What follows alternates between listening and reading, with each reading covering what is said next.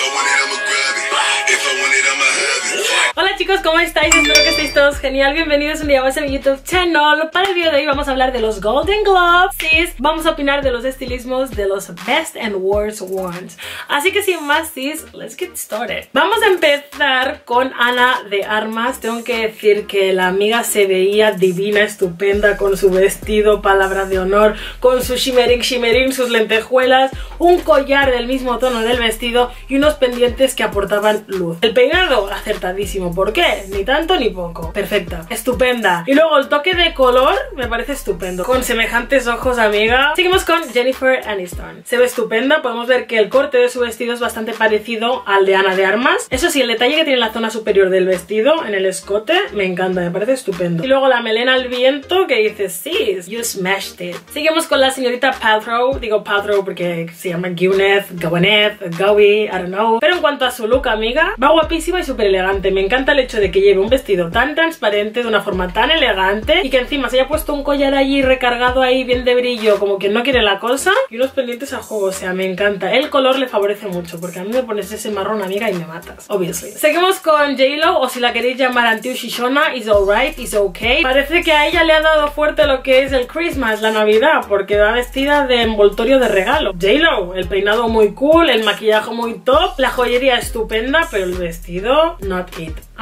Los colores, la maxi lazada, el vestido. Luego tú es como, guau, quiero ver muchas cosas, pero no puedo, J-Lo. Me estás dificultando mucho la vista, amiga. Así que yo creo que en este caso hay un par de cositas que sobran, ¿eh? Que sería el vestido en este caso. Porque de aquí a aquí estupendo. De aquí a aquí ya, amiga, movida. Helen Mirren. I think this woman looks incredibly incredible. Yo que trabajo en una tienda de vestidos de fiesta me sabe muy mal cuando vienen mujeres de esta edad y dicen, ostras, es que a mí ya no me queda nada bien. ¿Cómo que no? Mirad esto. Podéis ir guapísimas y arriesgar también, quiero decir, porque cumplamos años no quiere decir que tengamos que dejar atrás cosas que nos gustaría llevar, pero que por miedo o por vergüenza no llevamos. Esto es una obra de arte, puro glamour. O sea, ¿quién le dice que no?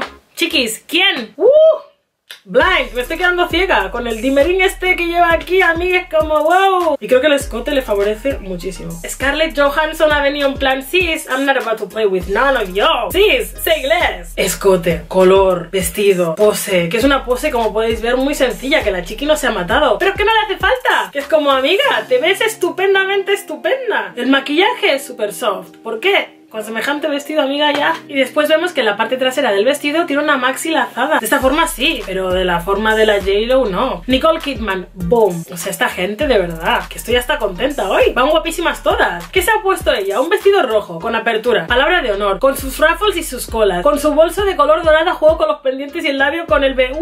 Amiga, estás guapísima. Y luego el peinado Say no se ha matado mucho. Rayo en el medio, para atrás, amiga. Déjame lucir lo que es mi vestido. Wow, sis. Wow. Ok, you look incredible. I love your pixie cut. Me gusta muchísimo cómo ha combinado los lunares o topos, llamarlo X, porque es bastante complicado. A mí, o consigues puro arte o pura cagada, literal. Sofía Carson, va guapísima, me gusta el color, me gusta el vestido, el peinado. Creo que ella en sí va estupendamente bien. Pero a mí que yo ya he llegado a la conclusión de que esta chica ya, cuando le invitan a las alfombras, se pone volumen, colas y maxi dresses para que la vean y no se olviden de ella. Amiga, porque es que a cada evento que va, más volumen le echa el vestido y es como llegará un momento en que le tendrán que dejar toda la sala ella sola. Priyanka Chopra va guapísima, creo que le queda genial. El vestido, el color, ella y Joe Jonas, o sea, amiga toda. René, una de las mejores vestidas, color, corte, sencillez, elegancia, todo, su pose, su todo, su wow, es como sí, snatched. Salma Hayek, aunque a mucha gente no le ha gustado, a mí me ha encantado. Creo que dentro de la sencillez del vestido tenemos una parte superior que juega con el encaje y la inferior pues más simple y más sencilla, con una única apertura y ya está. A ver, el tamaño de pecho es el que tiene. Eh, ¿Qué le vamos a hacer? Va a lucirlo. Amigui, si tú tienes un Ferrari, ¿qué vas a hacer? ¿Lo vas a guardar en el parking o lo vas a sacar a lucir? ¿Verdad? Exacto. Lucy, yo creo que la amiga va de decoración del árbol de Navidad. La estrellita esta que le pones o la bolita esa que cuelgas al árbol. Y sea que. Sienna Miller, este vestido sí que es un no. Mucho cutout, mucho color, mucho de todo. Realmente un vestido, lo que digo siempre. Estos vestidos que quieren hablar mucho pero que al final no te dicen nada excepto error. Exactly. Chao, chiqui, chao. Este vestido, Taylor Swift, mm, a mí personalmente no me gusta nada. Ni me gusta el vestido, ni el corte, ni el estampado, ni nada. Cero. Lisa Bonet y Aquaman. A mí sinceramente me gusta como van. Creo que van en su pura esencia. A esta mujer no le pondría el vestido de René porque sé que no va con ella. Entonces como bien digo siempre también me gusta mucho la gente que es fiel a su estilo, amiga, que dice así voy yo, así soy yo y así iré, iris por iris.